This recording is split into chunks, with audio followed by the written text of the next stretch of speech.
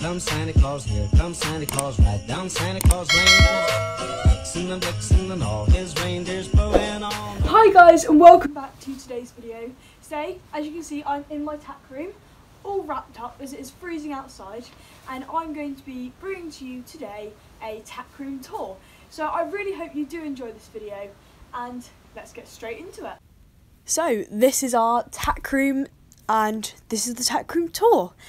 So we start off and we've got an area where me, Polly and Florence keep most of our stuff. It's like our hats, back protectors, boots, and you can see there there are some numnahs. Um, and then if you come up here we have our tack cleaning area where all our tack cleaning goes on and where we store the stuff that we use for tack cleaning. Um, over here we have a lot of stirrups and then we have gloves that become very useful as usual and um, bits and bobs drawer um, a like polishing drawer and then down here we have a lot of different coloured bandages um, and then our second drawer we have kind of the pads that go underneath the numnahs um, if needed. We have another bits and bobs drawer and these saddle covers, which we use quite a lot. So we then go up onto the wall and there's quite a lot of harness hung up. And yeah, and then we've got numnahs, girths. There is normally a saddle here, but saddle's not there at the moment.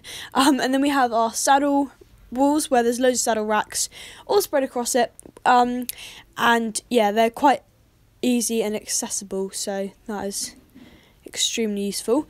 Um, we have our bridle corner where the bridles are all there and they are labelled.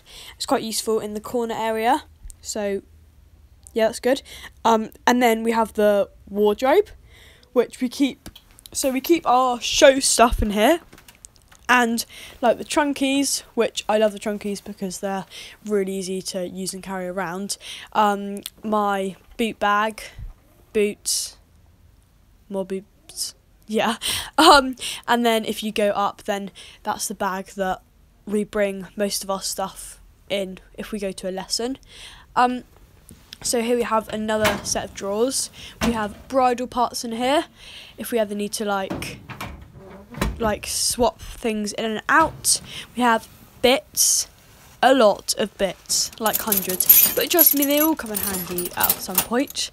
Um, and then we have the drawer where I keep most of my stuff. So as you'll see, I have my um, tendon boots and cross country boots in this drawer. And yeah, and then in the last drawer, we have all our hat silks. So there is a lot of hat silks, but we have the hat silks that are mainly on our hats, and then we can like swap them in and out, which is quite nice to be honest. Um, and yeah, we've got some reflective stuff as well, like yeah, is reflective, is, and yeah, so high vis stuff.